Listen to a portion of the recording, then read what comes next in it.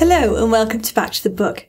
It's time to relax and enjoy some of the finest literature ever written in English. Alice's adventures through Wonderland continue. So if you'd like to hear what she gets up to today, please sit comfortably and I'll begin. The Mock Turtle's Story. You can't think how glad I am to see you again, you dear old thing, said the Duchess, as she tucked her arm affectionately into Alice's, and they walked off together. Alice was very glad to find her in such a pleasant temper, and thought to herself that perhaps it was only the pepper that had made her so savage when they met in the kitchen. When I'm a duchess, she said to herself, not in a very hopeful tone though, I won't have any pepper in my kitchen at all. Soup does very well without, Maybe it's always pepper that makes people hot tempered, she went on, very much pleased at having found out a new kind of rule, and vinegar that makes them sour, and chamomile that makes them bitter, and, and barley sugar, and such things that make children sweet tempered. I only wish people knew that. Then they wouldn't be so stingy about it, you know. She had quite forgotten the Duchess by this time, and was a little startled when she heard her voice close to her ear. You're thinking about something, my dear, and that makes you forget to talk. I can't tell you just now what the moral of that is, but I shall remember it in a bit. Perhaps it hasn't one, Alice ventured to remark. Tut, tut, child, said the Duchess. Everything's got a moral if you could only find it. And she squeezed herself up closer to Alice's side as she spoke. Alice did not much like her keeping so close at first, First, because the Duchess was very ugly, and secondly, because she was exactly the right height to rest her chin on Alice's shoulder, and it was an uncomfortably sharp chin. However, she did not like to be rude, so she bore it as well as she could. The game's going on rather better now, she said, by way of keeping up the conversation a little. "'Tis so,' said the Duchess. And the moral of that is, oh, 'tis love, 'tis love that makes the world go round. Somebody said, Alice whispered, that it's done by everybody minding their own business. Ah, well, that means much the same thing, said the Duchess, digging her sharp little chin into Alice's shoulder as she added, and the moral of that is, take care of the sense and the sounds will take care of themselves. How fond she is of finding the morals in things, Alice thought to herself. I dare say you're wondering why I don't put my arm round your waist, the Duchess said after a pause. The reason is, I'm in doubtful about the temper of your flamingo. Shall I try the experiment? He might bite, Alice cautiously replied, not feeling at all anxious to have the experiment tried. Very true, said the Duchess. Flamingos and mustard both bite, and the moral of that is, birds of a feather flock together. Only mustard isn't a bird, Alice remarked. Right as usual, said the Duchess. What a clear way you have of putting things. It's a mineral, I think, said Alice. Oh, of course it is, said the Duchess, who seemed ready to agree to everything that Alice said. There's a large mustard mine near here, and the moral of that is, the more there is of mine, the less there is of yours. Oh, I know, exclaimed Alice, who had not intended to this last remark. It's a vegetable. It doesn't look like one, but it is. I quite agree with you, said the Duchess, and the moral of that is, be what you would seem to be, or if you'd like me to put it more simply, Never imagine yourself not to be otherwise than what it might appear to others that what you were or might have been was not otherwise than what you would have appeared to them to be otherwise. I think I should understand that better, Alice said very politely, if I had writ- written down, but I can't quite follow it as you say it. That's nothing to what I could say if I chose, the Duchess replied in a pleased tone. Pray don't trouble yourself to say it any longer than that, said Alice. Oh, don't talk about trouble, said the Duchess. I make you a present of everything I've said as yet. A cheap sort of present, thought Alice. I'm glad people don't give birthday presents like that. But she did not venture to say it out loud. Thinking again? the Duchess asked, with another dig of her sharp little chin. I've a right to think, said Alice sharply, for which she was beginning to feel a little worried. Just about as much right, said the Duchess, as pigs have to fly, and the But here, to Alice's great surprise, the Duchess's voice died away, even in the middle of her favourite word, moral, and the arm that was linked into hers began to tremble. Alice looked up, and there stood the Queen in front of them, with her arms folded, frowning like a thunderstorm. A fine day, your Majesty, the Duchess began in a low, weak voice. Now I give you fair warning, shouted the Queen, stamping on the ground as she spoke. Either you or your head must be off, and that is about half no time. Take your choice. The Duchess took her choice and was gone in a moment.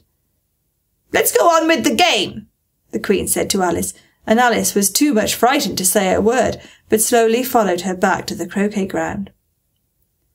The other guests had taken advantage of the Queen's absence and were resting in the shade. However, the moment they saw her, they hurried back to the game, the Queen merely remarking that a moment's delay would cost them their lives. All the time they were playing, the Queen never left off quarrelling with the other players and shouting, Off with his head! or Off with her head!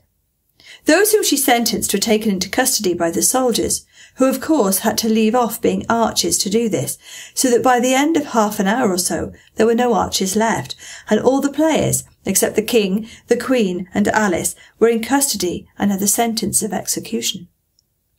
Then the queen left off, quite out of breath, and said to Alice, Have you seen the mock turtle yet?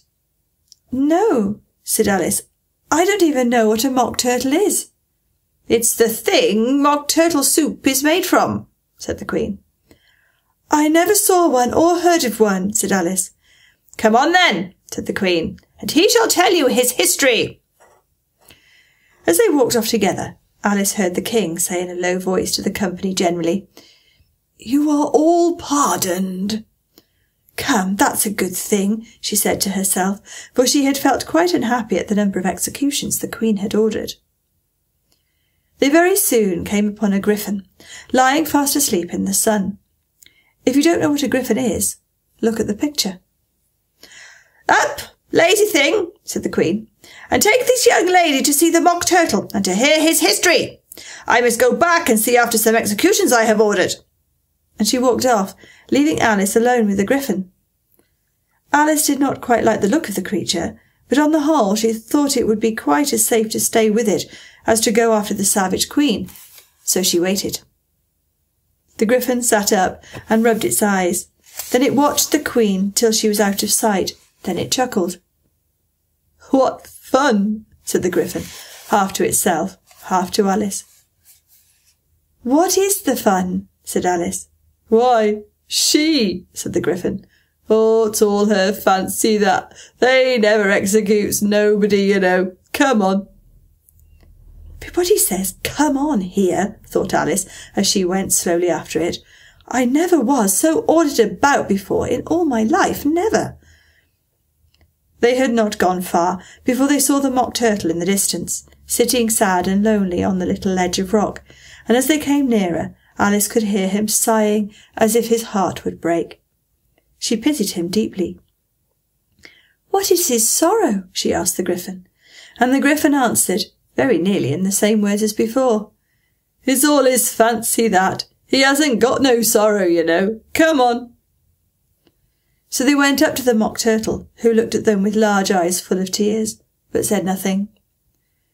This here young lady, said the Gryphon, she wants for to know your history, she do.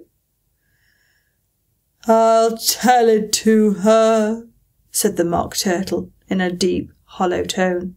Sit down, both of you, and don't speak a word till I've finished. So they sat down, and nobody spoke for some minutes. Alice thought to herself, I don't see how he can ever finish if he doesn't begin. But she waited patiently. Once, said the Mock Turtle at last, with a deep sigh, I was a real turtle. These words were followed by a very long silence, broken only by an occasional exclamation of "Hum!" from the Gryphon, and the constant heavy sobbing of the Mock Turtle. Alice was very nearly getting up and saying, Thank you, sir, for your interesting story. But she could not help thinking there must be more to come, so she sat still and said nothing. When we were little, the Mock Turtle went on at last, more calmly, though still sobbing a little now and then. We went to school in the sea. The master was an old turtle. We used to call him Tortoise. Why did you call him Tortoise if he wasn't one? Alice asked. We called him Tortoise because he taught us, said the Mock Turtle angrily. Really, you are very dull. You ought to be ashamed of yourself for asking such a simple question, added the Gryphon. And then they both sat silent and looked at poor Alice, who felt ready to sink into the earth. At last the Gryphon said to the Mock Turtle, Drive on, old fellow! Don't be all day about it! And he went on in these words. Yes, we went to school in the sea, though you mayn't believe it. I never said I didn't, interrupted Alice. You did, said the Mock Turtle. Hold your tongue, added the Gryphon, before Alice could speak again. The Mock Turtle went on. We had the best of educations. In fact, we went to school every day. I've been to a day school too, said Alice. You needn't be so proud as all that. With extras? asked the Mock Turtle, a little anxiously. Yes, said Alice. We learned French and music. And washing? Said the Mock Turtle. Certainly not, said Alice indignantly. Ah, then yours wasn't really good school, said the Mock Turtle in a tone of great relief. Now at ours they had at the end of the bill French, music, and washing extra. You couldn't have wanted it much, said Alice, living at the bottom of the sea. I couldn't afford to learn it, said the Mock Turtle with a sigh. I only took the regular course. What was that? inquired Alice. Reeling and writhing, of course, to begin with, the Mock Turtle replied. And then the different branches of arithmetic. Ambition, distraction, uglification, and derision. I never heard of uglification, Alice ventured to say. What is it? The Gryphon lifted up both its paws in surprise. Never heard of uglifying, it exclaimed. You know what to beautify is, I suppose. Yes, said Alice doubtfully. It means to, to make an, anything prettier. Well, then, the Gryphon went on, if you don't know what to uglify is, you are a simpleton. Alice did not feel encouraged to ask any more questions about it, so she turned to the Mock Turtle and said, What else had you to learn? Well, there was mystery, the Mock Turtle replied, counting off the subject on his flappers. Mystery, ancient and modern, with seaography. then drawling. The drawling master was an old conger eel that used to come once a week. He taught us drawling, stretching, and fainting with coils. What was that like? said Alice. Well, I can't show it you myself, the Mock Turtle said. I'm too stiff, and the Gryphon never learnt it. Hadn't time, said the Gryphon. I went to the classical master, though. He was an old crab, he was. I never went to him, the Mock Turtle said with a sigh. He taught laughing and grief, they used to say. So he did, so he did, said the Gryphon sighing in his turn, and both creatures hid their faces in their paws. How many hours a day did you do lessons? asked said Alice, in a hurry to change the subject. Ten hours the first day, said the Mock Turtle, nine the next, and so on. What a curious plan! exclaimed Alice. That's the reason they're called lessons, the Gryphon remarked, because they lesson from day to day. This was quite a new idea to Alice, and she thought it over a little before she made her next remark. Then the eleventh day must have been a holiday. Oh, of course it was, said the Mock Turtle. And how did you manage on the twelfth? Alice went on eagerly. That's enough about lessons, the Gryphon interrupted in a very decided tone. Tell us something about the games now. The Mock Turtle sighed deeply and drew the back of one flapper across his eyes. He looked at Alice and tried to speak, but for a minute or two sobs choked his voice. Same as if he had a bone in his throat, said the Gryphon, and it set to work shaking him and punching him in the back. At last the Mock Turtle recovered his voice, and with tears running down his cheeks, he went on again. You may not have lived much under the sea. I haven't, said Alice. And perhaps you were never even introduced to a lobster. Alice began to say, I once tasted, but checked herself hastily and said, No, never. So you can have no idea what a delightful thing a lobster quadrille is. No, indeed, said Alice. What sort of dance is it? Why, said the Gryphon, you first form into a line along the seashore. Two lines, cried the Mock Turtles. Seals, turtles, salmon, and so on. Then, when you've cleared all the jellyfish out of the way. That generally takes some time, interrupted the Gryphon. You advance twice. Each with a lobster as a partner, cried the Gryphon. Of course, the Mock Turtle said. Advance twice, set to partners. Change lobsters and retire in the same order, continued the Gryphon. Then, you know, the Mock Turtle went on, you throw the... The lobsters! shouted the Gryphon with a bound into the air. As far out to sea as you can. Swim after them! screamed the Gryphon. Turn a somersault in the sea, cried the Mock Turtle, capering wildly about. Change lobsters again, yelled the Gryphon at the top of its voice. Back to land, and that's all the first figure, said the Mock Turtle, suddenly dropping his voice, and the two creatures, who had been jumping about like mad things all this time, sat down again very sadly and quietly and looked at Alice.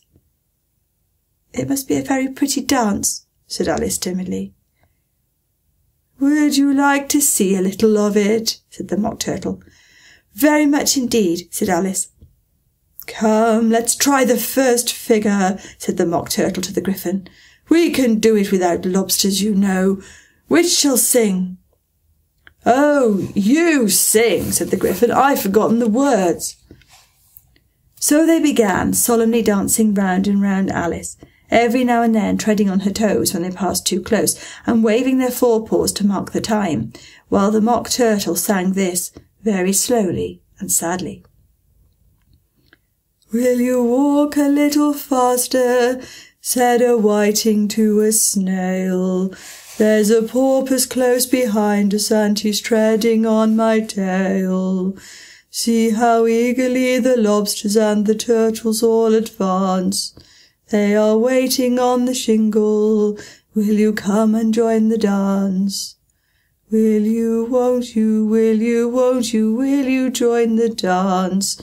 Will you, won't you, will you, won't you, won't you join the dance? You can really have no notion how delightful it will be when they take us up and throw us with the lobsters out to sea. But the snail replied, Too far, too far, and gave a look askance. Said he thanked the whiting kindly, but he would not join the dance. Would not, could not, would not, could not, would not join the dance. Would not, could not, would not, could not, could not join the dance. What matters it how far we go? His scaly friend replied.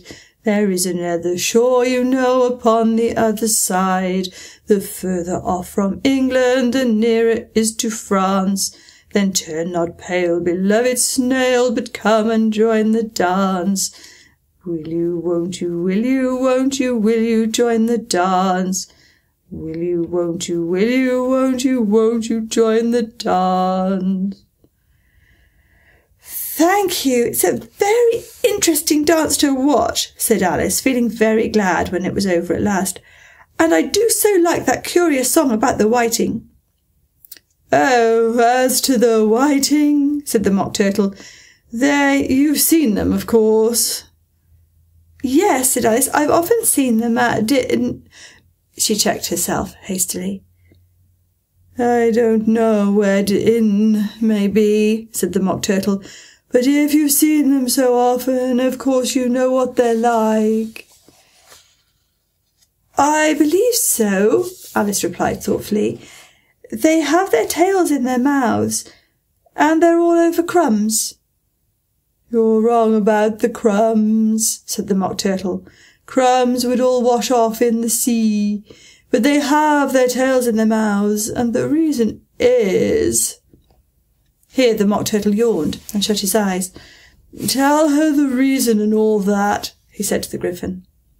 The reason is, said the Gryphon, that they would go with the lobsters to the dance, so they got thrown out to sea, so they had to fall a long way, so they got their tails fast in their mouths, so they couldn't get them out again. That's all. Thank you, said Alice. It's very interesting. I never knew so much about a whiting before. I can tell you more than that if you like, said the Gryphon. Do you know why it's called a whiting? I never thought about it, said Alice. Why? It does the boots and shoes, the Gryphon replied very solemnly. Alice was thoroughly puzzled. Does the boots and shoes? she repeated in a wondering tone. Why, what are your shoes done with? said the Gryphon. I mean, what makes them so shiny? Alice looked down at them and considered a little before she gave her answer. They're done with blacking, I believe, Boots and shoes under the sea, the Gryphon went on in a deep voice, are done with whiting. Now you know. And what are they made of? Alice asked in a tone of great curiosity. Soles and eels, of course, the Gryphon replied rather impatiently. Any shrimp could have told you that. If I'd been the whiting, said Alice, whose thoughts were still running on the song, I'd have said to the porpoise, Keep back, please. We don't want you with us. They were obliged to have him with them, the Mock Turtle said. No wise fish would go anywhere without a porpoise. Wouldn't it really? said Alice, in a tone of great surprise. Of course not, said the Mock Turtle. Why, if a fish came to me and told me he was going on a journey, I should say, with what porpoise? Don't you mean purpose? said Alice. I mean what I say, the Mock Turtle replied in an offended tone, and the Gryphon added, Come, let's hear some of your adventures. I could tell you my adventures, beginning from this morning, said Alice a little timidly, but it's no use going back to yesterday because I was a different person then. Explain all that, said the Mock Turtle. No, no, the adventures first, said the Gryphon in an impatient tone. Explanations take such a dreadful time. So Alice began telling them her adventures from the time when she first saw the White Rabbit. She was a little nervous about it just at first. The two creatures got so close to her, one on each side, and opened their eyes and mouths so very wide, but she gained courage as she went on. Her listeners were perfectly quiet till she got to the part about her repeating, You are old, Father William, to the caterpillar, and the words all coming different. And then the mock turtle drew a long breath and said, that's very curious. It's all about as curious as it can be, said the Gryphon. It all came different, the Mock Turtle repeated thoughtfully. I should like to hear her try and repeat something now. Tell her to begin. He looked at the Gryphon as if he thought it had some kind of authority over Alice. Stand up and repeat "'Tis the voice of the sluggard,' said the Gryphon. How the creatures order one about and make one repeat lessons, thought Alice. I might just as well be at school at once. However, she got up and began to repeat it, but her head was so full of the lobster quadrille that she hardly knew what she was saying, and the words came very queer indeed. "'Tis the voice of the lobster, I heard him declare, You have baked me too brown, I must sugar my hair. As a duck with its eyelids, so with his nose, Trims his belt and his buttons and turns out his toes. When the sands are all dry, he's as gay as a lark, and will talk in contemptuous tones of the shark. But when the tide rises and sharks are around, his voice has a timid and tremulous sound. That's different from what I used to say when I was a child, said the Gryphon. Well, I never heard it before, said the Mock Turtle, but it sounds uncommon nonsense. Alice said nothing. She had sat down with her face in her hands, wondering if anything would ever happen in a natural way again. I should like to have it explained, said the Mock Turtle. She can't explain it, said the Gryphon hastily. Go on with the next verse. But about his toes, the Mock Turtle persisted. How could he turn them out with his nose, you know?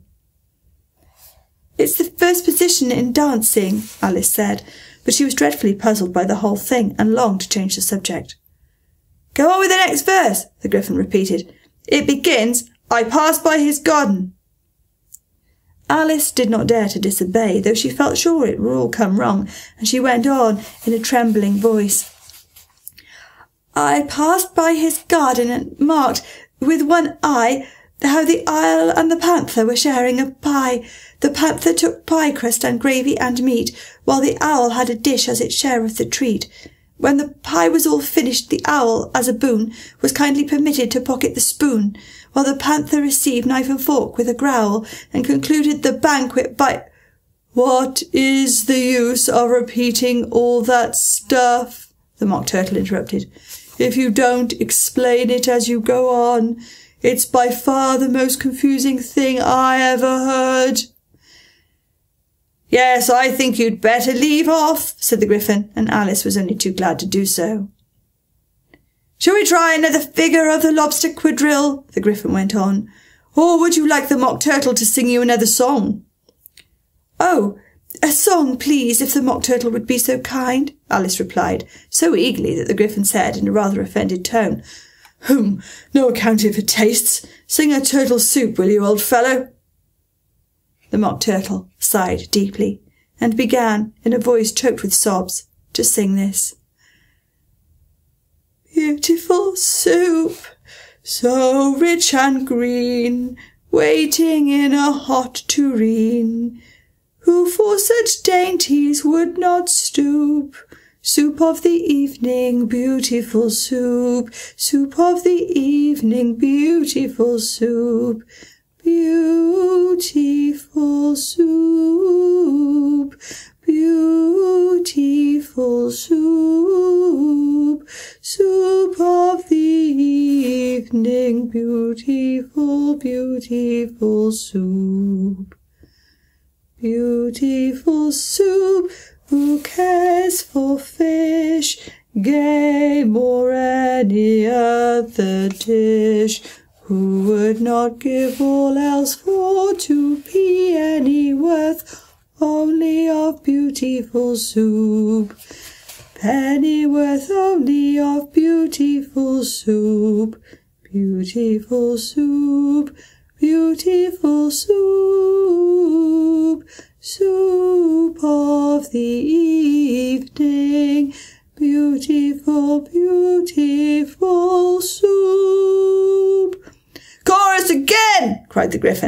Mock Turtle had just begun to repeat it when the cry of The trial's beginning was heard in the distance. Come on! cried the Gryphon, and taking Alice by the hand, it hurried off without waiting for the end of the song. What trial is it? Alice panted as she ran, but the Gryphon only answered, Come on! and ran the faster, while more and more faintly came, carried on the breeze that followed them, the melancholy words. Soup of the evening, beautiful, beautiful soup.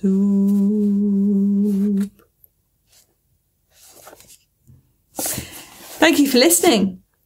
I hope you will join me again next time after that singing. if you're enjoying what you're hearing, do subscribe to the channel and I look forward to seeing you next time. Goodbye.